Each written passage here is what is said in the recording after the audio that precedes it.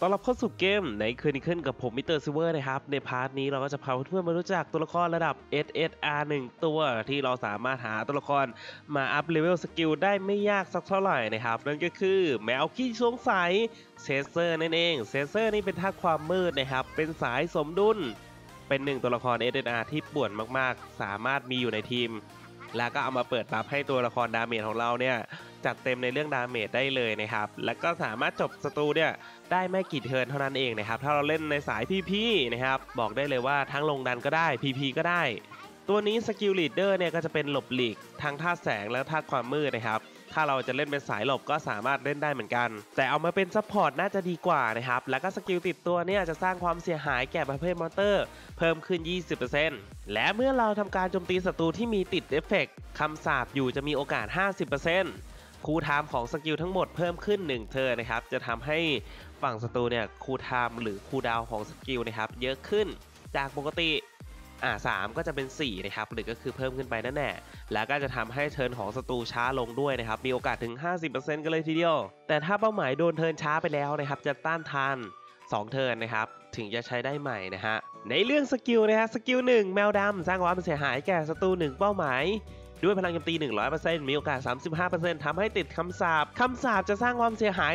30%ของพลังโจมตีนาน 2 เทิร์นนะครับ และก็ทีเด็ดเนี่ยอย่างที่บอกนะฮะสกิลเปิด buff สกิลที่ 2 นั่นเองมีโอกาส 100%มอบ buff ผ้าคลุมภูตผี ที่จะหลบหลีกการโจมตี 1 เทิร์นนะครับ อืม ต้อง 1 เทิร์นเลยนะ ก็ฝั่งตรงข้ามนะครับ ตีมา เราก็จะหลบหลีกได้นะฮะถ้าเป็นสกิลใหญ่ๆนี่บอกได้เลยว่าเด็ดมาก แต่ได้แค่ครั้งเดียวเท่านั้นนะครับผมยกเว้นในกรณีที่เราจะโดนโจมตีต่อเนื่อง อันนั้นก็ได้เหมือนกัน แล้วก็มีโอกาส 50%ที่จะมอบเอฟเฟกต์การโจมตีติด critical นะครับ หรือก็คือติด critical 1 ครั้งแน่นอน และก็มีโอกาสถึง 35%ที่จะมอบคำสาปให้แก่ฝั่งศัตรูทั้งหมดนะครับเรียกได้ว่าค่อนข้างเด็ดกันเลยทีเดียว ตัวนี้นะครับเราอัพสกิลให้เต็มเนี่ยโอกาสติด critical ก็จะเรียกได้ว่า 100%กันเลยทีเดียวนะฮะติดแน่นอน 1 เทิร์นนะครับแก่พรรคพวกของเรา 3 คนนะฮะ แล้วก็สกิล ulti นะครับ ของเล่นแมวเหมียว สร้างความเสียหายแก่ศัตรูทั้งหมด ด้วยพลังโจมตี 120%มีโอกาส 35%ทำให้ศัตรูติดยั่วยวน 1 เทิร์น2ตัวนะครับ อ่าสูงสุด 2 ตัวแต่สกิลเนี้ยเป็นสกิลหมู่นะฮะ โอกาสค่อนข้างเยอะอยู่นะครับ ถ้าเราอัพสกิลเต็ม สกิลติดตัว 2 หรือสกิลฮีโร่จะทำการคืนชีพ 1 ครั้งใน 1 การต่อสู้นะครับฟื้นคืน HP 30%อีกทั้งเมื่อทำการคืนชีพจะมอบเอฟเฟกต์คำสาป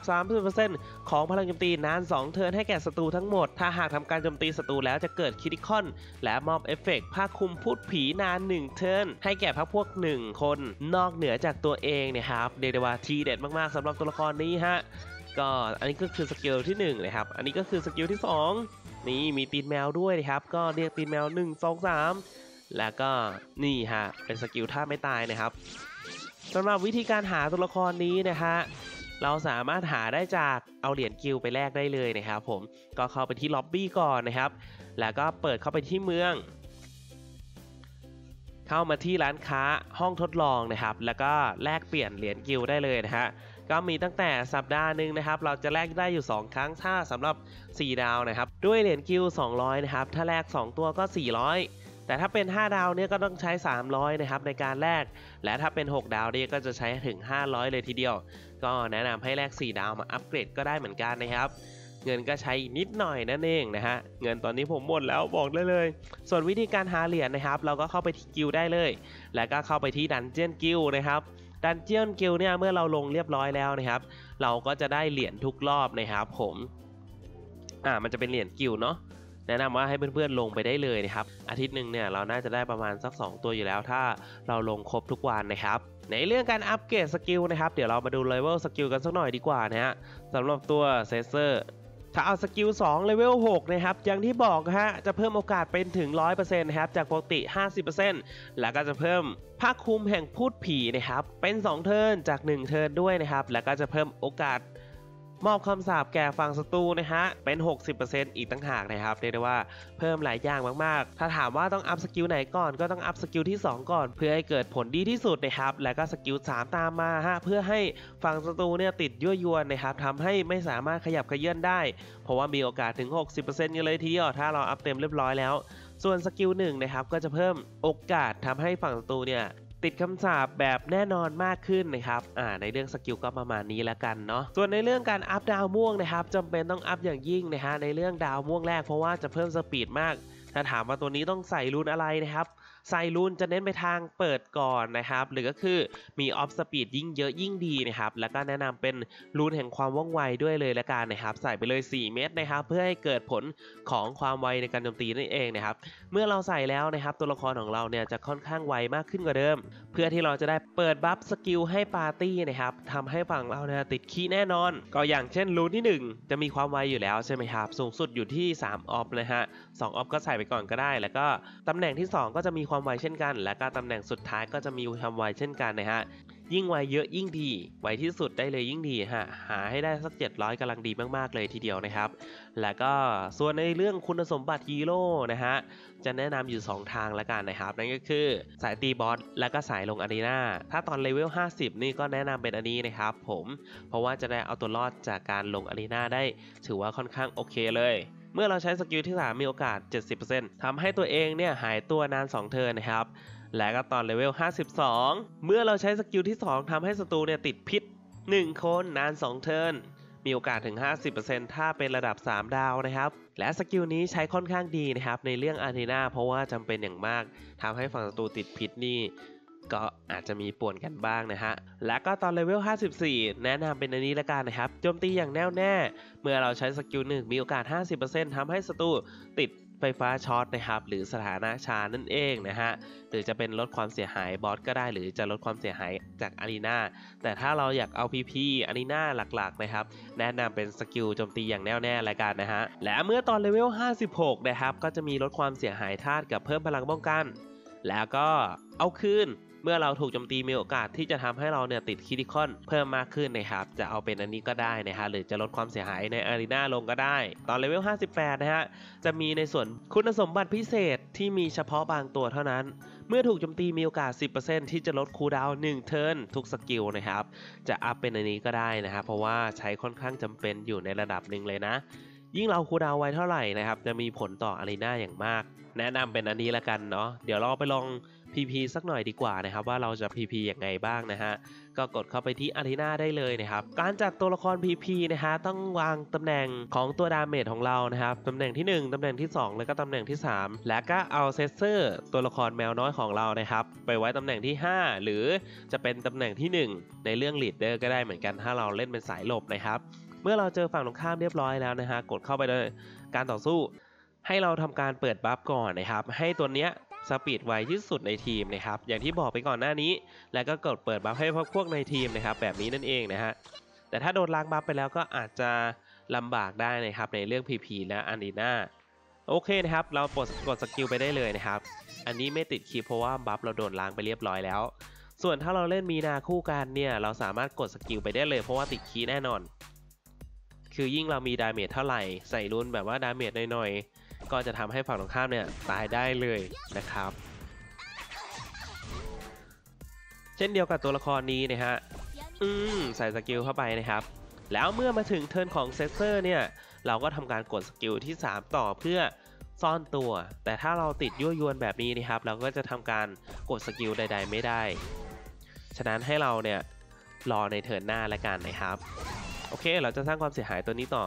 แต่เหมือนจะไม่ได้นะครับ ไม่เป็นไร อันนี้เราตายแล้วนะครับ เราคืนชีพขึ้นมาอีกครั้งหนึ่งอ่า เหมือนจะติดดีมากหยุดๆโอเค จัดไปฮะในเรื่อง skill ปึ๊บ ก็จะทำให้ turn ของศัตรูเนี่ย นี่ครับผม เห็นได้ชัดเลยนะฮะ ก็ช้าลงนิดนึงนะครับ หรือก็คือเพิ่ม cool time นั่นเองนะฮะ cooldown ของ skill ของฝั่งข้าม แล้วก็มีติดสถานะคำสาปด้วยนะครับ ก็จะสร้างความเสียหายไปเรื่อยๆ เมื่อถึง turn ของฝั่งศัตรูนะฮะ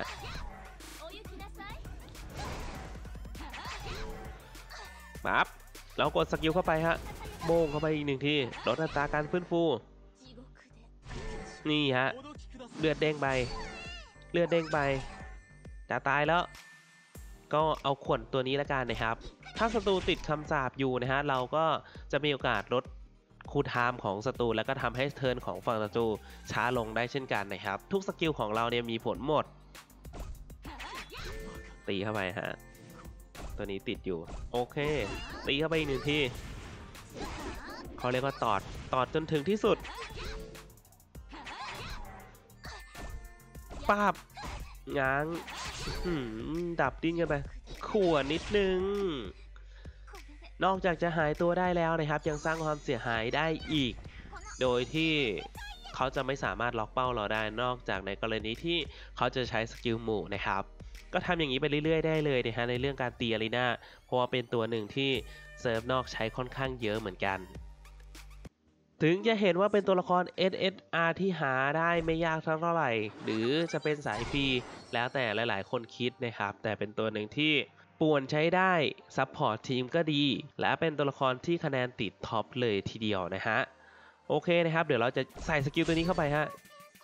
อืม คืนชีพมากดฮิวไปอีก อะไรจะขนาดนั้นปับงานเข้าแล้ว งานเข้าแล้วปึ๊บ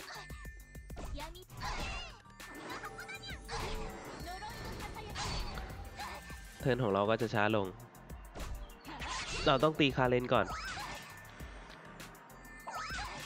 ในจังหวะนี้คาเลนถือว่าเป็นตัวหนึ่งที่ชั่วร้ายมาก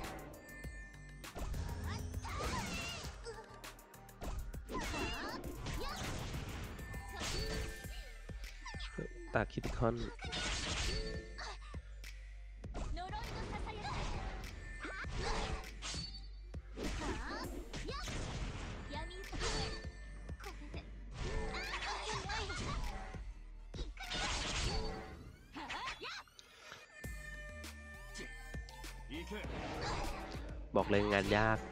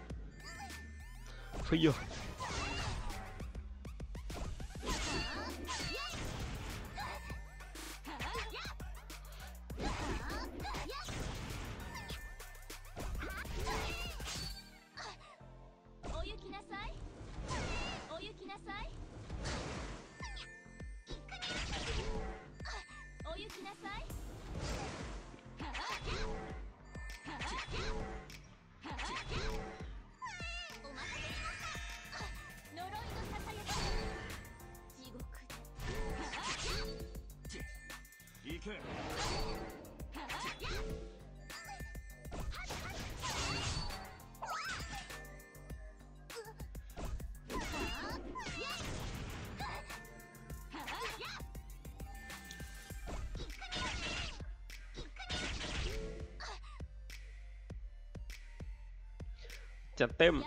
buff ติดป้องกัน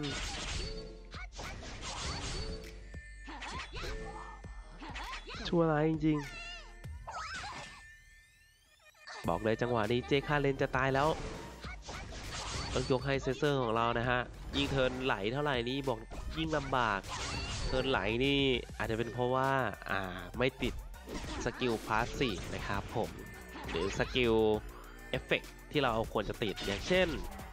ไม่สามารถคืนชีนชีพได้ แต่ฝั่งศัตรูได้ดันไม่ติดเลยโอกาส เยอะก็แล้วแต่นะครับ มันก็ออกแนวติดยากๆนิดนึงอะไรประมาณนั้นเชสเซอร์เป็นตัวหนึ่งที่ cooldown ค่อนข้างไวนะครับ มาแบบต่อเนื่องมากปั๊บยา skill ที่สองไป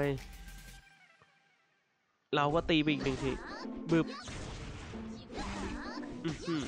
เจอฝั่งน้องครับตีต่อเนื่องดูเรื่องเหมือนกันนะอย่างนี้ เอาละเราก็มี แต่กดกันไว้ก่อน ยิงไปชุบมาชุบมาแล้วก็ตีปับ๊บโหไหลตาย ไหลตายบอกเลย เชสเซอร์ควรอ่าก็ยังคืนชีพมาได้อีก เรียบร้อย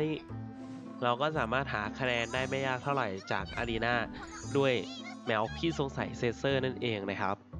เอาเลยครับ ตัวนี้เราสามารถเอาไปลงดัน PVE หรือ PVP ก็ได้เหมือนกัน เรียกได้ว่าเป็นสายสมดุลที่โคตรคุ้มค่าในการทำและหาไม่ยากด้วยฮะสำหรับแมวขี้สงสัย เชสเซอร์อย่าลืมไปทำกันด้วยนะฮะ เป็นหนึ่งตัวแนะนำละกันเนาะเพราะว่าสามารถหาตัวละครมาอัพ skill ได้ไม่ยากเท่าไหร่ คลิปนี้ก็ฝากไว้เท่านี้นะครับ ถ้าชอบยังไงก็ฝากกดไลค์ subscribe และเจอกันใหม่ part หน้า บ๊ายบายครับผม